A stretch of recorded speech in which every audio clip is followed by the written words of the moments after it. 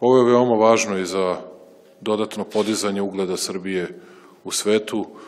Exit je jedan od njenih najvažnijih brendova, država Srbija će i dodatno pomoći, a ljudima iz Exita omogućiti sigurnost u,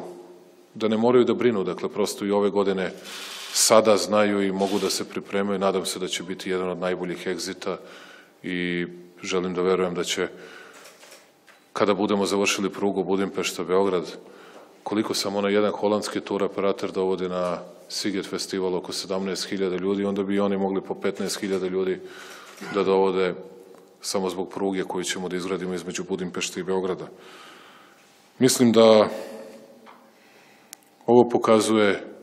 da zajedničkim radom i partnerstvom koji država može da ima sa mladim ljudima koji imaju takvu vrstu kreativne energije da to može da bude korist za sve, da bude korist i za neke druge mlade ljude, ali da bude korist i za državu nimalo manja.